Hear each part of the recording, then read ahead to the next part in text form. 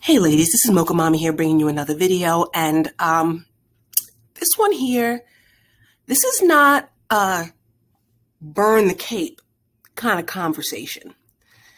This is a get a warm blanket and you might just need to cry it out. Right now in the mainstream media, we're dealing with the drug overdose of DMX as well as the implications of substance abuse in the George Floyd trial. And so, what I need for us to do is to get real about our relationship to substance abuse. DMX was a husband. Both he and Floyd were fathers. These guys were brothers and they were sons. And in the war on drugs, a lot of times we are the casualties. This is nothing that we enlisted for, but everything we suffer from. And we really need to get real about it. We have to understand that the drug trade is one of the main reasons why black men kill each other. It's one of the main reasons for incarceration. And it definitely impacts their employment opportunities. So we really need to be real about how this impacts us as well. Now, I have a very vivid memory, childhood memory. Um, it was when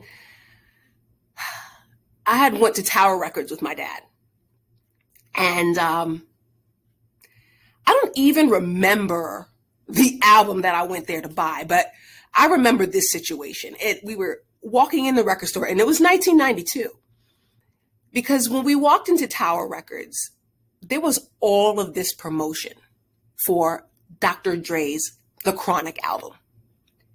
And I remember my dad getting so mad. I remember him being angry.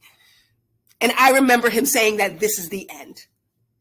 That right now, what I was witnessing by seeing that album being promoted and that big marijuana leaf in vivid living color in my tower records that I was watching the end.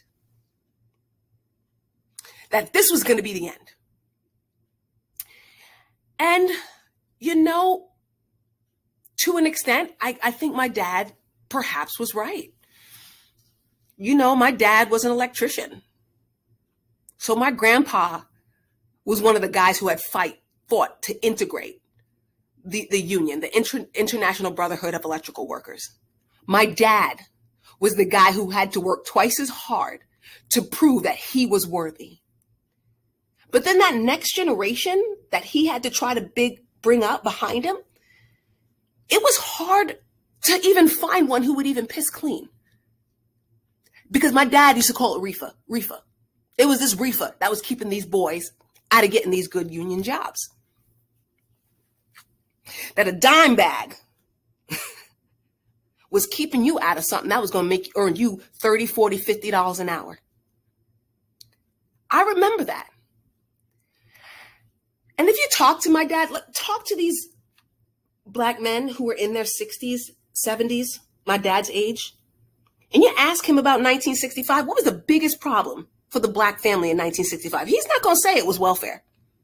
He's going to say it was heroin and if you really talk to my dad, I remember back when the out of wedlock childhood rate was over 50%. And, you know, I remember we had a neighbor who was complaining about how his woman had kicked him out the house. And I remember my dad saying, Your woman didn't kick you out. If your woman kicked you out the house, that crack cocaine and Colt 45 packed your bags for you and my dad got into a fight. That guy and my dad got into a fight. I had never seen my, but he fought that day. And I clearly remember that. Not too long after that, about 1995, it, we had the Million Man March. My dad drove down for that. My dad, this devout Christian, was going to stand on the mall, drive six hours to Washington, D.C., stand on the National Mall, shoulder to shoulder with hundreds and thousands of black men. underneath the speaker under the guise of somebody from the NOI. This devout Christian man was going to stand there because he could not take what was happening in his neighborhood, in his community, among his people. And then not long after that, we moved. Now, see, y'all, this ain't no burn the cape conversation. This is a warm blanket conversation, y'all. So I need y'all to stick with me.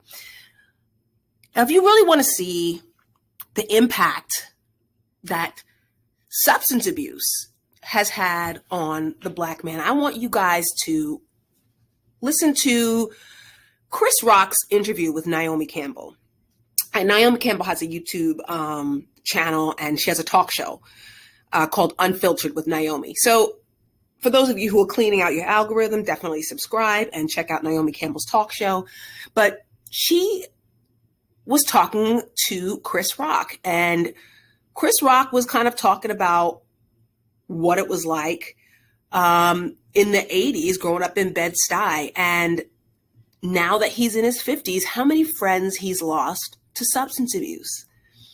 Now, I am sure that Chris Farley is included in that number, but you guys, so many of you have brothers, uncles, fathers who were caught up in this too. You guys are casualties of this war on drugs too.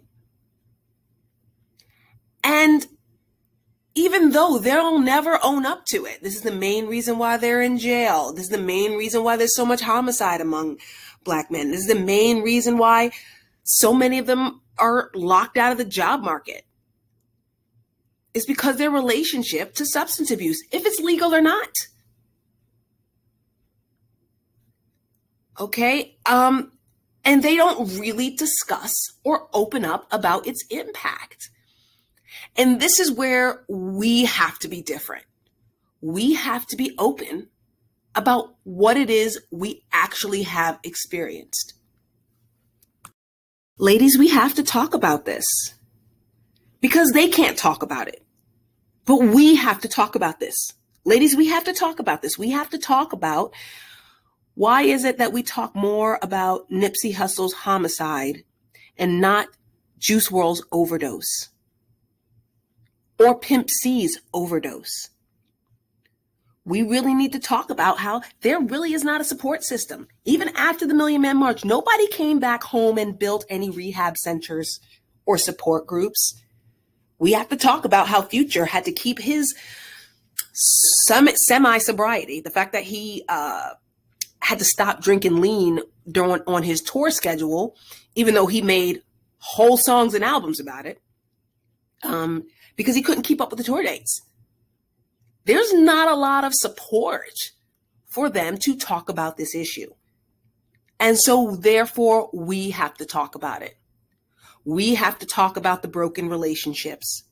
We have to talk about how maybe our families had to pack us and, and move us away to keep us sheltered from these things. We have to talk about those uncles who hadn't been at the Thanksgiving table, or maybe they were and ruined that family outing. We have to talk about, you know, I have a girlfriend right now who is dealing with a death in her family related to substance abuse and how she is choosing to handle it.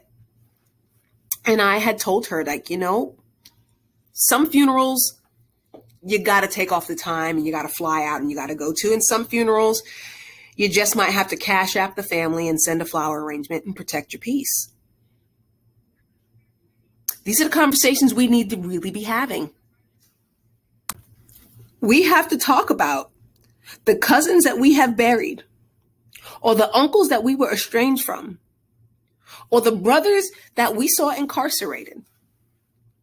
We have to talk about the DMXs and the George Floyds and the Juice WRLDs and the futures and our own family.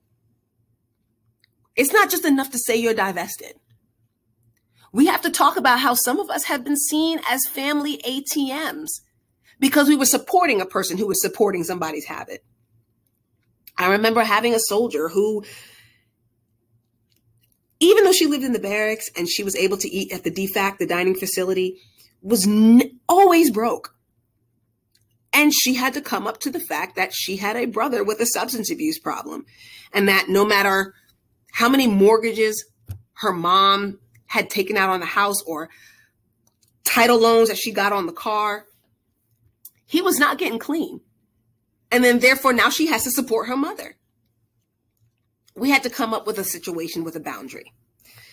And that boundary was that she would give her mother $250 a month like clockwork. 250 $250 a month like clockwork. $100 every pay period. And then that $50 was going to be put into a savings account. And so that way, when she's sending the money like clockwork and she called her daughter with that emergency saying he's got to get bailed out of jail or we need to pay a lawyer or the bail bonds is money due, that $50 every month that she was saving, she can say, Mom, this is what I got. This is all I have for you. And then she can have the peace of mind knowing that, hey, because my mom gets $100 every two weeks, at least I know she can get something to eat and put gas in her car, and everything else is her choice.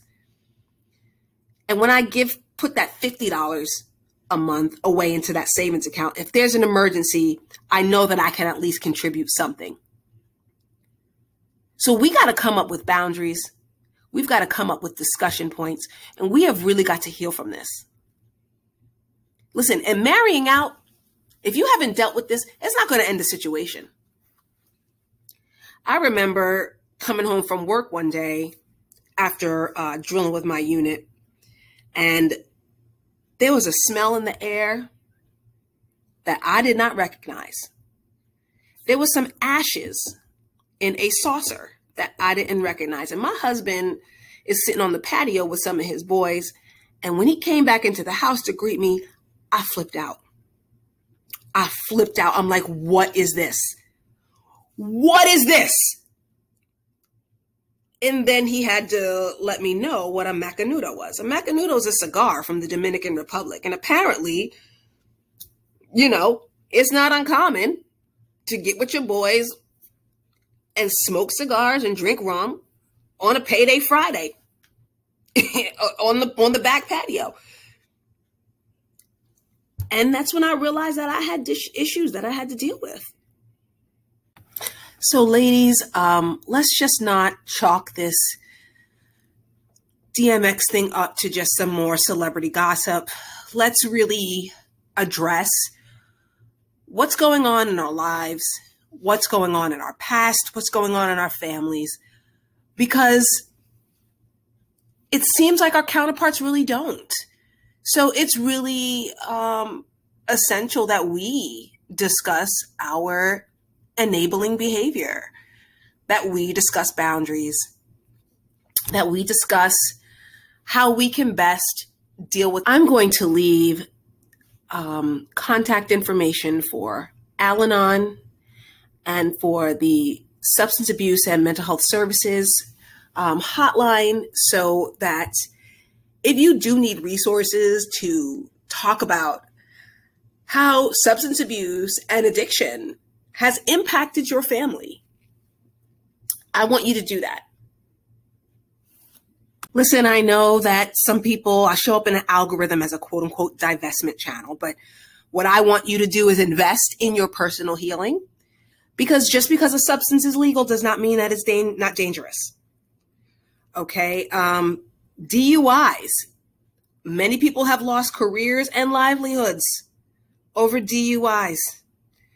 And um, a lot of domestic violence um, has happened as a result of alcoholism and substance abuse. So we really got to get resources to support our healing. Okay, this is not about burning capes, but wrapping ourselves in that warm blanket and getting the help that we need this is Mocha Mommy, and I'll see you in the next video.